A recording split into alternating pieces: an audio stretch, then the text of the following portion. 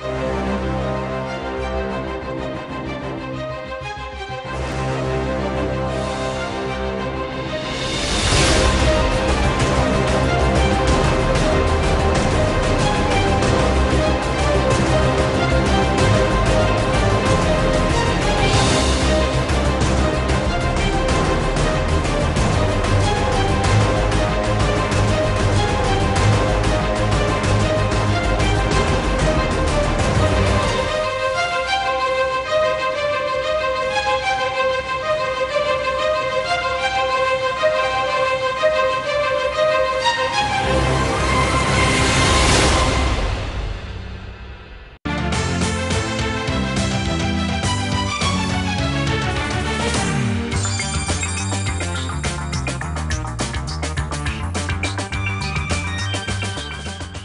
আসসালামু আলাইকুম। সুপ্রিয় দর্শক, আপনাদের সকলকে শুভেচ্ছা জানিয়ে শুরু করছি আজকের এনটিভি ইউরোপ নিউজ সাথে আছি আমি দিলশাদ চৌধুরী। সংবাদের শুরুতেই জানিয়ে দেব আজকের প্রধান শিরোনামগুলো। আগামী সপ্তাহে যুক্তরাজ্যে উঠে যাচ্ছে লকডাউন পুনরায় আরোপ করা হবে টিআর পদ্ধতি। করোনায় যুক্তরাজ্যে আজ চারশো আটানব্বই জন প্রাণ হারিয়েছেন। আক্রান্ত সতেরো হাজার পাঁচশো পঞ্চান্ন জন। এবং মডার্নার ষোলো কোটি ডোজ করোনা ভ্যাকসিন ক্রয়ের মাধ্যমে ইউর ভ্যাকসিন ক্রয় শুরু।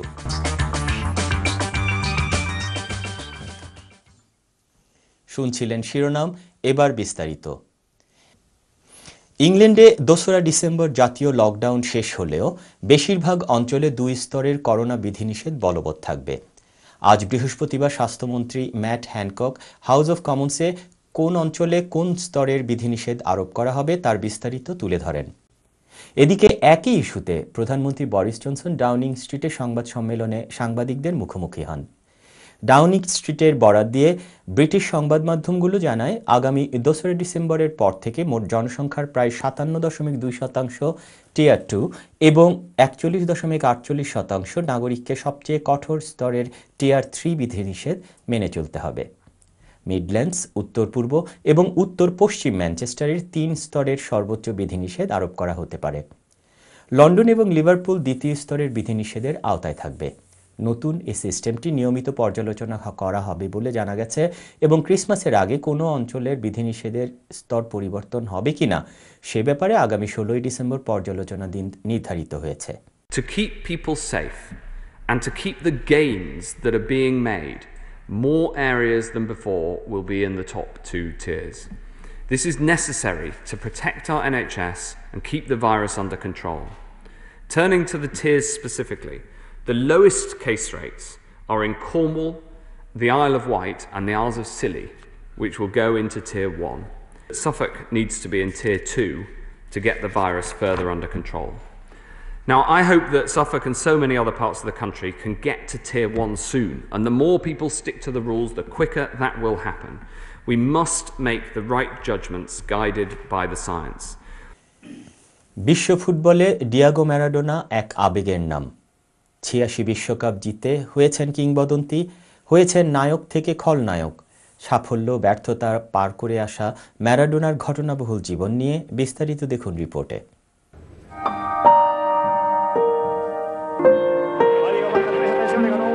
বিশ্ব ফুটবলে ম্যারাডোনা আলোচনায় আসে মাত্র আঠারো বছর বয়সে।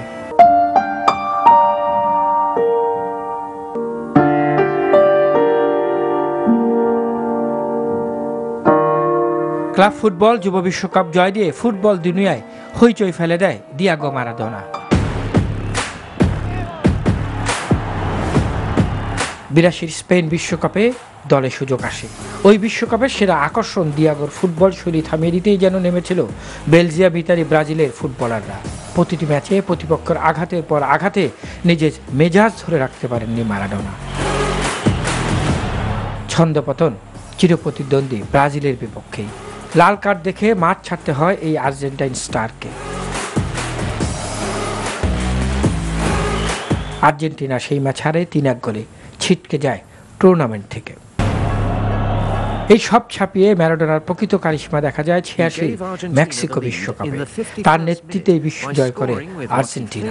কোয়ার্টার ফাইনালে ইংল্যান্ডের বিপক্ষে হ্যান্ড আপ গোলের গোল নিয়ে বিতর্ক চলমান রেখে ম্যারাডোনা হয়ে গেলেন মহাকালের অতিথি।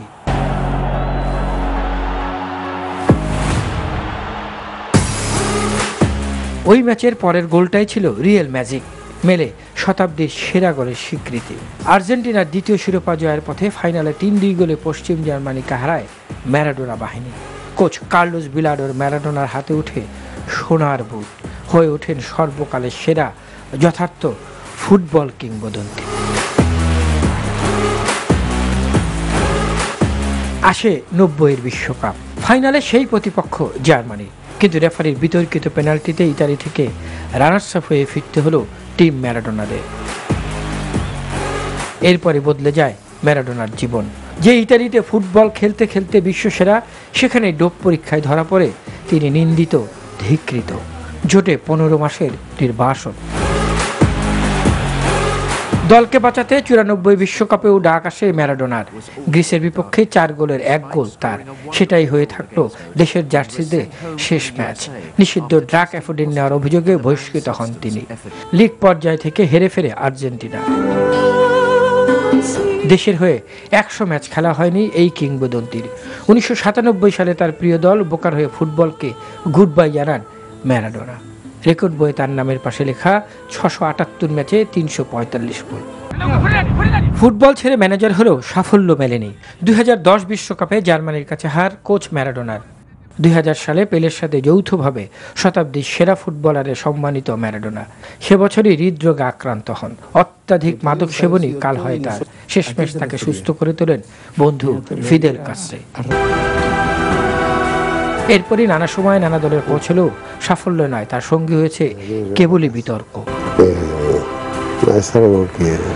বিশ বছর বাদে সেই হৃদরোগেই পরিসমাপ্তি ঘটল একটি অধ্যায়ের থামল ম্যাজিশিয়ান ম্যারাডোনার মোহধরানো ফুটবল। তার অদ্ভুত যাপন আর নানা বিতর্ক। Nasimul Hasan, NTV sports desk. এদিকে যুক্তরাজ্যে করোনা ভাইরাসে আক্রান্ত হয়ে গত চব্বিশ ঘন্টায় নতুন করে প্রাণ হারিয়েছেন চারশো আটানব্বই জন। গতকাল এই সংখ্যা ছিল ছশো ছিয়ানব্বই জন। মঙ্গলবার ছিল ছশো আট জন, সোমবার এই সংখ্যা ছিল দুশো ছয় জন। এ নিয়ে মোট মৃতের সংখ্যা সাতান্ন হাজার তেত্রিশ জন। এই মৃত্যুর পরিসংখ্যান আজ সকাল নটা পর্যন্ত হাসপাতালে ও হাসপাতালের বাইরে করোনায় মৃতের সংখ্যা যুক্ত করা হয়েছে। এদিকে গত চব্বিশ ঘন্টায় নতুন করে আক্রান্ত হয়েছেন সতেরো হাজার পাঁচশো পঞ্চান্ন জন। গতকাল এই সংখ্যা ছিল আঠারো হাজার দুশো তেরো জন। মঙ্গলবার এগারো হাজার দুশো নিরানব্বই জন। আজ সকাল নটা পর্যন্ত মোট আক্রান্তের সংখ্যা পনেরো লাখ তিয়াত্তর হাজার আটশো চৌত্রিশ জন। এছাড়া আজ করোনায় আক্রান্ত হয়ে হাসপাতালে ভর্তি হয়েছেন এক হাজার চারশো বত্রিশ জন। নতুন একটি ভ্যাকসিনের জন্য চুক্তি করতে ইউরোপীয় ইউনিয়ন সম্মত হবে বলে মঙ্গলবার জানিয়েছেন ইউরোপীয় কমিশনের প্রেসিডেন্ট উর্সুলা ভন্ডার লেন। যুক্তরাষ্ট্রের ওষুধ কোম্পানি মডার্না উৎপাদিত ষোলো কোটি ডোজ ভ্যাকসিন ক্রয়ের মধ্য দিয়ে ইইউ তাদের কোভিড নাইন্টিন মোকাবেলার প্রচেষ্টা জোরদার করতে সক্ষম হবে। উর্সুলা ভন্ডার লেন বলেন, শুধু একটি নিরাপদ ও কার্যকর ভ্যাকসিন এ মহামারীর দীর্ঘস্থায়ী ও টেকসই সমাধান দিতে পারে। ইউরোপীয় বাজারে কোনো ভ্যাকসিন ছাড়ার আগে এর নিরাপত্তা ও কার্যক্ষমতার নিশ্চিতে ইউরোপীয় মেডিসিন এজেন্সির অনুমোদন নিতে হবে। মডার্নার ভ্যাকসিন ছাড়াও AstraZeneca, Sanofi, GSK, Janssen, Pharmaceutica, NV, BioNTech, Pfizer এবং কিউরভ্যাকের ভ্যাকসিন ক্রয়ের জন্য চুক্তি করেছে ইইউ জন হপকিন্স বিশ্ববিদ্যালয়ে প্রকাশিত সর্বশেষ তথ্য অনুযায়ী, আজ বৃহস্পতিবার সকাল পর্যন্ত বিশ্বব্যাপী কোভিড নাইন্টিন আক্রান্তের সংখ্যা মোট ছয় কোটি দু লাখ ছিয়াত্তর হাজার নশো একান্ন জন। এ পর্যন্ত মারা গেছে চোদ্দ লাখ উনিশ হাজার পাঁচশো সাতষট্টি জন। ইতালিতে নবনিযুক্ত রাষ্ট্রদূত মোহাম্মদ শামীম আহসানের সাথে সৌজন্য সাক্ষাৎ ও প্রবাসীদের স্বার্থ সংশ্লিষ্ট বিষয় নিয়ে মতবিনিময় সভা করেছে ইতালি আওয়ামী লীগের সিনিয়র নেতৃবৃন্দরা। এ সময় সাধারণ প্রবাসীদের বিভিন্ন সমস্যা ও সমাধানের ব্যাপারে দূতাবাসের সিনিয়র কর্মকর্তাদের সাথেও খোলামেলা আলোচনা করেন উপস্থিত নেতৃবৃন্দ। এদিকে রাষ্ট্রদূত মোহাম্মদ শামীম আহসান ও প্রবাসীদের বিভিন্ন সমস্যার কথা মনোযোগ সহকারে শুনেন এবং সমাধান কল্পে তার বিভিন্ন পদক্ষেপের কথা তুলে ধরেন। বিস্তারিত আমাদের ইতালি প্রতিনিধি আফজাল হোসেন রোমানের একটি রিপোর্টে। ইতালিতে বসবাসরত সাধারণ প্রবাসীদের নানা অনিয়মের অভিযোগ ছিল সাবেক রাষ্ট্রদূতের বিরুদ্ধে। নতুন রাষ্ট্রদূত যোগদানের খবরেই প্রবাসীদের মাঝে কাজ করছিল এক অন্যরকম আনন্দ। কারণ একটাই রাষ্ট্রদূত মোহাম্মদ শামীম হাসান দীর্ঘদিন সুনামের সাথে দায়িত্ব পালন করে গিয়েছেন ইতালিস্থ বাংলাদেশ দূতাবাসে। এবার রাষ্ট্রদূত হিসেবে পুনরায় দায়িত্ব গ্রহণ করাকে ঘরের ছেলে ঘরে ফিরল বলে আখ্যায়িত করেছেন রাষ্ট্রদূত নিজেই। দায়িত্ব গ্রহণের মাত্র তিন দিনের মাথায় সৌজন্য সাক্ষাৎ করলেন ক্ষমতাসীন দল আওয়ামী লীগের নেতাকর্মীদের সাথে। প্রবাসীদের সমস্যা সমাধানের পন্থা তুলে ধরার পাশাপাশিও অতি শীঘ্রই বঙ্গবন্ধুর জন্মশতবার্ষিকী উপলক্ষে দূতাবাসে বঙ্গবন্ধু কর্নার করার কথাও ঘোষণা করেছেন। জানিয়েছেন, বর্তমান প্রবাস বান্ধব সরকারের সুফল সাধারণ প্রবাসীদের মাঝে পৌঁছে দেওয়ার পাশাপাশি প্রধানমন্ত্রী শেখ হাসিনার দুর্নীতির বিরুদ্ধে ঘোষিত জিরো টলারেন্স প্রবাসের মাটিতেও দূতাবাস নামক বাংলাদেশের ভূখণ্ডেও বাস্তবায়ন করা হবে। আমার একটি বড় সন্তুষ্টির কারণ। সেটি হচ্ছে তারা তাদের প্রত্যাশার কথা জানিয়েছেন। কিছু সমস্যার কথা তুলে ধরেছেন।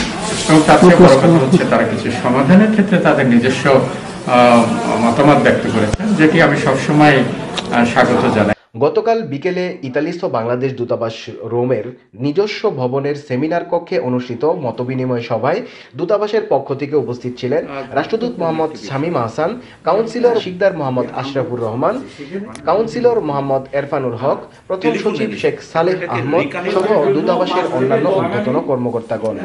ইতালি আওয়ামী লীগের পক্ষ থেকে উপস্থিত ছিলেন প্রতিষ্ঠাতা সভাপতি মুক্তিযোদ্ধা মাহতাব হোসেন, প্রতিষ্ঠাতা সদস্য কে এম লোকমান হোসেন সহ সভাপতি আব্দুর রৌফ ফকির, যুগ্ম সাধারণ সম্পাদক আফতাব ব্যাপারী, শোয়েব দেওয়ান সহ অন্যান্য নেতৃবৃন্দ। এ সময় নেতারা সাধারণ প্রবাসীদের পাসপোর্ট নবায়ন অ্যাপয়েন্টমেন্ট, প্রবাসীদের লাশ, দেশে প্রেরণ সংক্রান্ত নানা জটিলতার কথা তুলে ধরেন। রাষ্ট্রদূত সকল সমস্যার কথা শুনে সমাধানের লক্ষ্যে দূতাবাসের পক্ষে যথাযথ পদক্ষেপ গ্রহণের আশ্বাস প্রদান করেন। যোগদানের এক সপ্তাহের মধ্যেই কমিউনিটি ও রাজনৈতিক নেতৃবৃন্দের সাথে এই বৈঠক ফলপ্রসূ হবে বলে মনে করছেন কমিউনিটি নেতৃবৃন্দরা। তারা মনে করছেন, আলোচনার মাধ্যমেই অতি দ্রুত একটি সুন্দর এবং সুষ্ঠু সমাধান বেরিয়ে আসবে প্রবাসীদের সকল সমস্যার জন্য। Afzal Hossain Roman, NTV, Europe news, Italy. Lockdown সত্ত্বেও জার্মানিতে প্রতিদিন বেড়েই চলছে করোনায় আক্রান্ত এবং মৃতের সংখ্যা। এই অবস্থায় দেশব্যাপী চলমান লকডাউনের মেয়াদ বাড়ানো হয়েছে বিশে ডিসেম্বর পর্যন্ত। সংক্রমণ নিয়ন্ত্রণে আনতে কঠোর করা হয়েছে বিধিনিষেধ। বিস্তারিত আমাদের জার্মান প্রতিনিধি হাবিবুল্লাহ আল বাহারির রিপোর্টে। জার্মানিতে গত দুই নভেম্বর থেকে চলমান লকডাউন আগামী বিশ ডিসেম্বর পর্যন্ত বাড়ানো হয়েছে। দেশব্যাপী চলমান লকডাউনে করোনা সংক্রমণ আশানুরূপ নিয়ন্ত্রণে না আসায় এবার কিছু কিছু ক্ষেত্রে পূর্বের বিধিনিষেধ কঠোর করা হয়েছে। বুধবার চ্যান্সেলর অ্যাঞ্জেলা মেরকেল ও রাজ্য প্রধানদের ভিডিও কনফারেন্স শেষে নতুন এই বিধিনিষেধের কথা জানানো হয়। পূর্বের মতো রেস্তোরাঁ, bar, fitness studio, swimming pool, theatre আপাতত বন্ধ থাকবে বিশ ডিসেম্বর পর্যন্ত। বর্তমানে দুই পরিবারের দশজন সদস্য একত্রিত হওয়ার অনুমতি থাকলেও এক থেকে বিশ ডিসেম্বর পর্যন্ত এই সংখ্যা পাঁচ জনে নামিয়ে আনা হয়েছে। মাস্ক ব্যবহারের বাধ্যবাধকতাও বাড়ানো হয়েছে। তবে এবারও কঠোর স্বাস্থ্যবিধি বেঁধে দিয়ে কিন্টার গার্ডেন ও স্কুল খোলা রাখা হয়েছে। তবে চ্যান্সেলর অ্যাঞ্জেলা মেরকেল বলেছেন, দুর্ভাগ্যক্রমে এটি অনুমান করা যাচ্ছে না, বিশ ডিসেম্বর থেকে রেস্তোরাঁ ও হোটেল খুলে দেওয়া সম্ভব হবে কিনা। নতুন সংক্রমণ নিয়ন্ত্রণের মধ্যে না আসলে চলমান আংশিক লকডাউন আরও বাড়ানো হতে পারে বলে তিনি ইঙ্গিত দিয়েছেন। চ্যান্সেলর অ্যাঞ্জেলা ম্যার্কেল সকলকে অপ্রয়োজনীয় জনসমাগম এড়িয়ে চলার এবং সম্ভব হলে বাড়িতে থাকার অনুরোধ করেছেন। এদিকে মধ্য ডিসেম্বরের মধ্যেই করোনা ভাইরাসের ভ্যাকসিন দেওয়া শুরু হওয়ার সম্ভাবনা রয়েছে বলে জানিয়েছেন দেশটির স্বাস্থ্যমন্ত্রী ইয়ান্স স্পান। এ লক্ষ্যে জার্মানি জুড়ে ভ্যাকসিন বিষয়ক কাঠামোর কাজ শুরু হয়েছে। জার্মান ভিত্তিক কোম্পানি বায়োএনটেক এবং যুক্তরাষ্ট্রের ওষুধ কোম্পানি ফাইজারের উদ্ভাবিত ভ্যাকসিনটি বর্তমানে যুক্তরাষ্ট্রের ফুড অ্যান্ড ড্রাগ অ্যাডমিনিস্ট্রেশন ও ইউরোপীয় মেডিসিন এজেন্সির কাছে অনুমোদনের অপেক্ষায় আছে। এদিকে জার্মানিতে এখন পর্যন্ত প্রায় দশ লাখ মানুষ করোনা আক্রান্ত হয়েছেন, আর করোনা আক্রান্ত হয়ে মারা গিয়েছেন প্রায় পনেরো হাজার পাঁচশত জন। Habibullah Al Bahar NTV news, Germany. দর্শক, সময় হলো একটি বিজ্ঞাপন বিরতির, ফিরে এসে থাকছে সিলেট অফিস থেকে পাঠানো তথ্য ও ছবি নিয়ে সংবাদ প্রতিদিনের সিলেট। জগন্নাথপুর পৌরসভার উদ্যোগে যুক্তরাজ্য জাতীয় শ্রমিক লীগের সিনিয়র যুগ্ম সাধারণ সম্পাদক, শিক্ষানুরাগী সমাজসেবক আবুল খায়েরকে সংবর্ধনা প্রদান করা হয়েছে। সুনামগঞ্জের জগন্নাথপুর থেকে আমাদের সহকর্মী মোহাম্মদ আব্দুল হাইয়ের পাঠানো তথ্যচিত্রে বিস্তারিত দেখুন ডেস্ক রিপোর্টে। জগন্নাথপুর উপজেলার চিলাউড়া হলদিপুর ইউনিয়নের বৃহত্তর চিলাউড়া গ্রামের কৃতি সন্তান, যুক্তরাজ্য জাতীয় শ্রমিক লীগের সিনিয়র যুগ্ম সাধারণ সম্পাদক, লন্ডন মহানগর আওয়ামী লীগের সদস্য, যুক্তরাজ্য সুনামগঞ্জ সমিতির জনসংযোগ বিষয়ক সম্পাদক, জগন্নাথপুর ব্রিটিশ বাংলা এডুকেশন ট্রাস্টের ট্রাস্টি আবুল খায়েরকে জগন্নাথপুর পৌরসভার উদ্যোগে সংবর্ধনা দেওয়া হয়। আজ বৃহস্পতিবার বেলা দুইটায় স্বাস্থ্যবিধি মেনে সীমিত পরিসরে আয়োজিত সংবর্ধনা অনুষ্ঠানের শুরুতে সংবর্ধিত অতিথি আবুল খায়েরকে ফুলেল শুভেচ্ছা জানানো হয়। অনুষ্ঠানে পৌরসভার জননন্দিত মেয়র মিজানুর রশিদ ভূঁইয়ার সভাপতিত্বে ও সচিব সতীশ গোস্বামীর সঞ্চালনায় সংবর্ধিত অতিথির বক্তব্য রাখেন যুক্তরাজ্য জাতীয় শ্রমিক লীগের যুগ্ম সাধারণ সম্পাদক আবুল খায়ের। অন্যান্যের মধ্যে বক্তব্য রাখেন পৌরসভার councillor Khalilur Rahman, councillor Tajibur Rahman, councillor Dilowar Hossain, councillor Dipak Gop, নারী কাউন্সিলর নার্গিস ইয়াসমিন প্রমুখ। এ সময় পৌরসভার কর্মকর্তা, কর্মচারীগণ সহ সুধীজন উপস্থিত ছিলেন।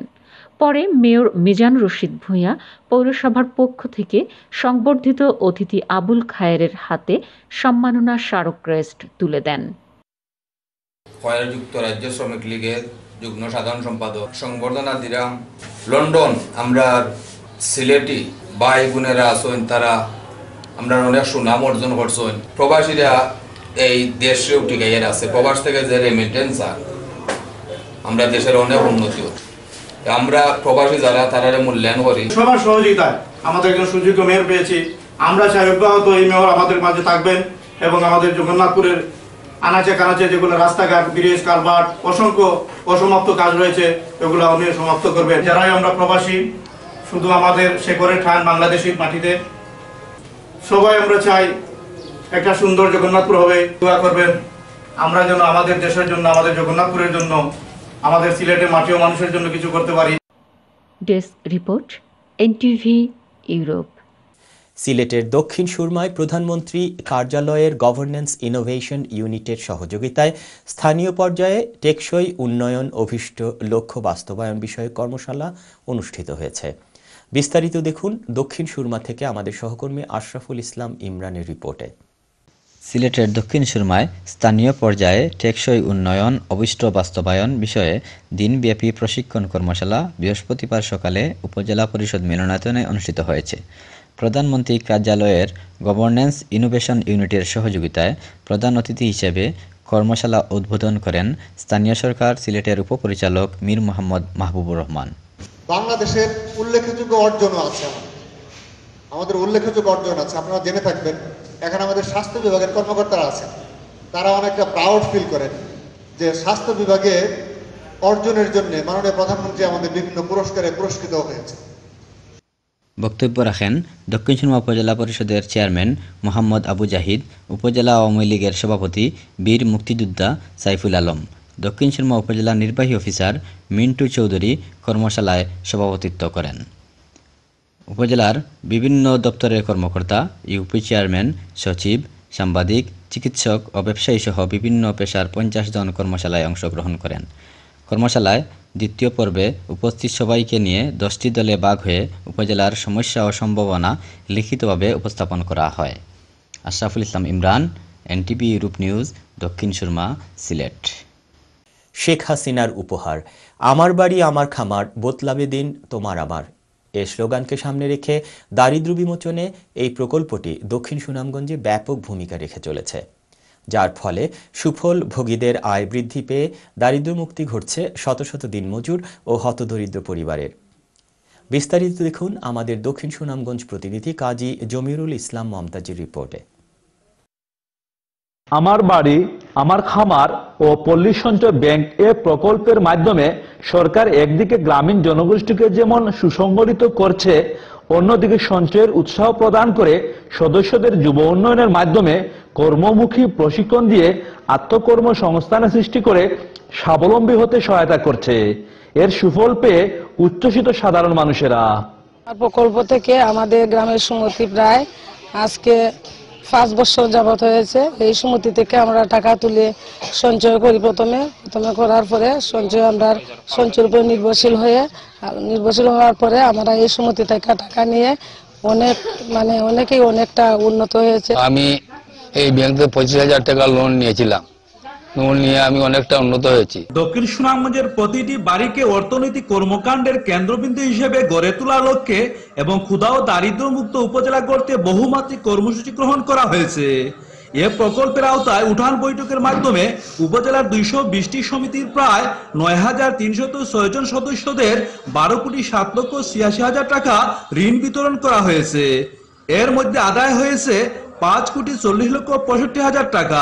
সদস্যদের নিজস্ব সঞ্চয় তিন কোটি একুশ লক্ষ বারো হাজার টাকা। মাননীয় প্রধানমন্ত্রী, জননেত্রী শেখ হাসিনার অগ্রাধিকার ভুক্ত আমার বাড়ি, আমার খামার প্রকল্প পল্লী সঞ্চয় ব্যাংকের কার্যক্রম। উপজেলা নির্বাহী অফিসার মহোদয়ের সঠিক দিক নির্দেশনায় আমরা সফলভাবে বাস্তবায়ন করে আসছি। উপকারভোগী সদস্যরা উঠান বৈঠকের মাধ্যমে বিভিন্ন প্রকল্প গ্রহণ করে স্বাবলম্বী হচ্ছে। আমার বাড়ি আমার প্রকল্প দক্ষিণ সুনামগঞ্জ উপজেলায় সুন্দরভাবে কাজ করে যাচ্ছে। তাদের প্রতি মাসেই অনেকগুলো করে উঠান বৈঠক হয়। উঠান বৈঠকের মাধ্যমে বিভিন্ন সমিতিকে নিয়ে তারা বসে এবং যুব সম্প্রদায়কে আর্থিকভাবে স্বাবলম্বী করার জন্য এবং মানসিকভাবে তাদেরকে আরও বেশি প্রত্যয়ী করে গড়ে তোলার জন্য বিভিন্ন রকমের ঋণ প্রদান করে থাকে। এই প্রকল্পের মাধ্যমে দক্ষিণ সুনামগঞ্জে গ্রামীণ হতদরিদ্র জনগোষ্ঠীর জীবনমানের উন্নয়নের পাশাপাশি দেশের অর্থনৈতিক অগ্রগতিতেও গুরুত্বপূর্ণ ভূমিকা রাখছেন তারা। Kazi Jamirul Islam Momtaz, NTV Europe news, Dakshin Sunamganj. বাংলাদেশের একজন মানুষও গৃহহীন থাকবে না। প্রধানমন্ত্রীর এই ঘোষণাকে বাস্তবায়নের লক্ষ্যে মুজিব বর্ষ উপলক্ষে সারা দেশের ন্যায় দক্ষিণ সুনামগঞ্জ উপজেলাতেও পরিকল্পনামন্ত্রী আলহাজ এম এ মান্নান এমপির একাত্ম প্রচেষ্টায় ভূমিহীন ও গৃহহীন পরিবার পুনর্বাসনের দুর্যোগ সহনীয় গৃহ নির্মাণ কর্মসূচির শুভ উদ্বোধন করা হয়েছে। বিস্তারিত দেখুন আমাদের দক্ষিণ সুনামগঞ্জ প্রতিনিধি কাজী জমিরুল ইসলাম মমতাজের আরও একটি রিপোর্টে। বৃহস্পতিবার সকাল এগারোটায় উপজেলার পূর্ব পাগলা ইউনিয়নের পিঠাপসি গ্রামে দুর্যোগ ত্রাণ মন্ত্রণালয়ের বাস্তবায়নে ও দক্ষিণ সুনামগঞ্জ উপজেলা প্রশাসনের সহযোগিতায় ভূমিহীন পরিবারের মাঝে দুর্যোগ সহনীয় গৃহ নির্মাণ কর্মসূচির শুভ উদ্বোধন করেন উপজেলা নির্বাহী অফিসার জেবুন্নাহার শাম্মী। শেখ হাসিনা আমরা গড় দিছে নন্দার সাহেব গড় দিছেন আমি বড় খুশি হইলাম। ফাসিনা মন্দান হিসাবে আমরা গড় দিছে আমরা ফাইয়া খুব খুশি হয়েছি উদ্বোধনী অনুষ্ঠানে এ সময় উপস্থিত ছিলেন উপজেলা সহকারী কমিশনার ভূমি সুনন্দা রায় পূর্ব পাগলা ইউপি চেয়ারম্যান আক্তার হোসেন প্রকল্প বাস্তবায়ন কর্মকর্তা শাহাদত হোসেন বুইয়া ইউপি সদস্য আবদাল মিয়া ও সৈদুন্নির সহ অন্যান্যরা। মাননীয় প্রধানমন্ত্রী বলেছেন দেশে একটি মানুষও গৃহহীন থাকবে না। এরই ধারাবাহিকতায় সারা বাংলাদেশে প্রায় আট লক্ষ গৃহহীন পরিবারকে দুর্যোগ সহনীয় গৃহ নির্মাণ করে দেওয়ার উদ্যোগ নেওয়া হয়েছে সরকারের পক্ষ থেকে। প্রথম ফেজে সারা দেশের ন্যায় সুনামগঞ্জ জেলায় উনচল্লিশশো আটটি গৃহ নির্মাণের বরাদ্দ পাওয়া গেছে। সুনামগঞ্জ জেলার দক্ষিণ সুনামগঞ্জ উপজেলায় আমরা চারশো এগারোটি ঘরের বরাদ্দ পেয়েছি। ইতিমধ্যেই নির্মাণ কাজ শুরু হয়েছে। আমরা আশা করছি জানুয়ারি মাসের পনেরো তারিখের মধ্যেই আমরা সবগুলো ঘর নির্মাণ করে হস্তান্তর করতে পারব। আমাদের এই দক্ষিণ পিঠা বই এবং দক্ষিণ গুড়াডুম্বুরের অবহেলিত এবং প্রকৃত ভূমিহীনের মাননীয় প্রধানমন্ত্রী জননেত্রী শেখ হাসিনার একান্ত প্রজেক্ট যারা প্রকৃত ভূমিহীন ওদেরকে গড় দেওয়া হচ্ছে। মাননীয় মন্ত্রী মহোদয়ের এই যে একান্ত প্রচেষ্টায় যে আমাদের এই প্রকল্পটা বাস্তবায়ন করেছেন, আমি ওনাকে, আমার ব্যক্তিগত পক্ষ থেকে গুড়ারম্বুর পিঠাপই এবং তথা আমার ইউনিয়নের সর্বস্তরের জনগণের পক্ষ থেকে ওনাকে আন্তরিক অভিনন্দন এবং শুভেচ্ছা জানাচ্ছি। দক্ষিণ সুনামগঞ্জ উপজেলায় এরকম দুর্যোগ সহনীয় গৃহ নির্মাণ করা হবে চারশত এগারোটি। প্রতিটি করে ব্যয় হবে এক লক্ষ একাত্তর হাজার টাকা। মুজিব বর্ষের এই উপহার পেয়ে আনন্দে আত্মহারা ভূমিহীন পরিবারের লোকেরা। কাজী জমিরুল ইসলাম মমতাজ, এনটিভি রূপ নিউজ, দক্ষিণ সুনামগঞ্জ। দর্শক, সংবাদ শেষ করব।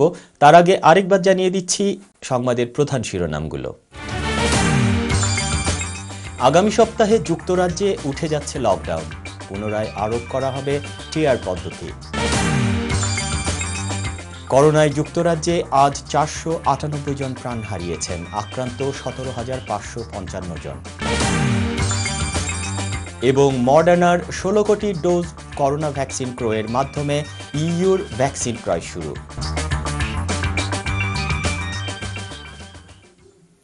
এই ছিল আমাদের হাতে থাকা এনটিভি ইউরোপ নিউজের সর্বশেষ আয়োজন।